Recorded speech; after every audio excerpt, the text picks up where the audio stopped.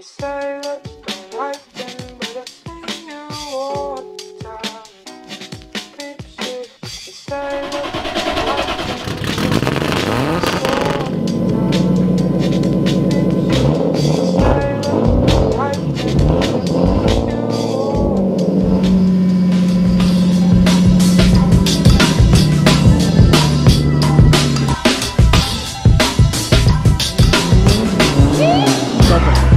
I mean, what is there to fear? I'm from Black America, it's just another year.